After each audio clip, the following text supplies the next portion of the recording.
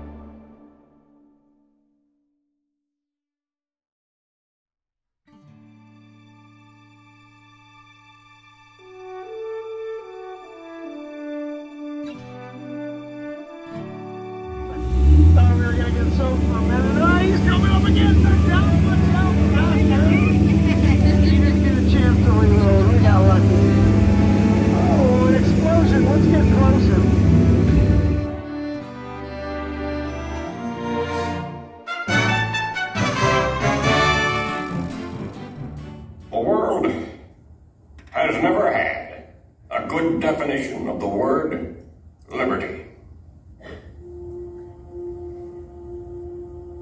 And the American people just now are much in want of one. We all declare for liberty.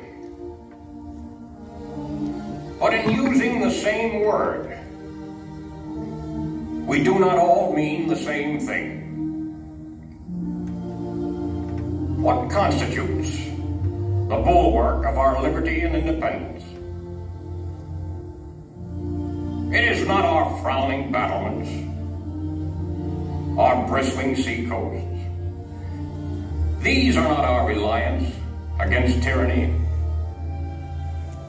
Our reliance is in the love of liberty, which God has planted in our bosoms. Our defense is in the preservation of the spirit which prizes liberty as the heritage of all men, in all lands, everywhere.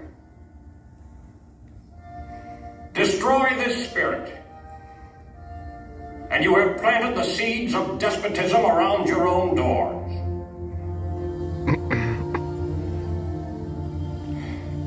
At what point shall we expect the approach of danger?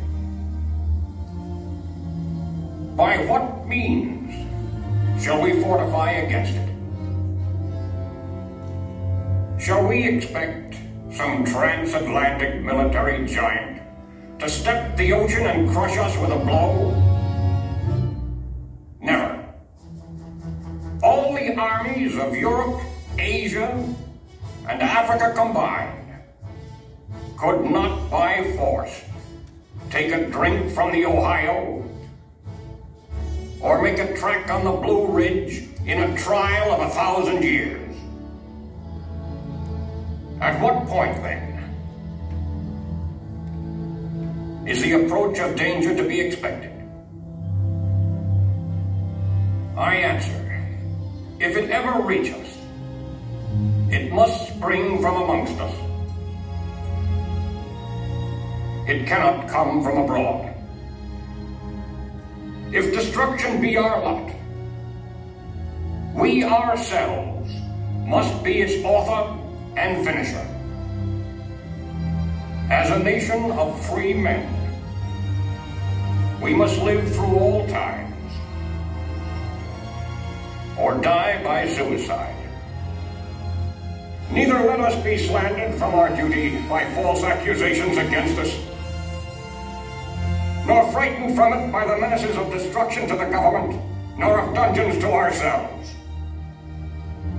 Let us have faith that right makes might. And in that faith, let us to the end dare to do our duty as we understand it.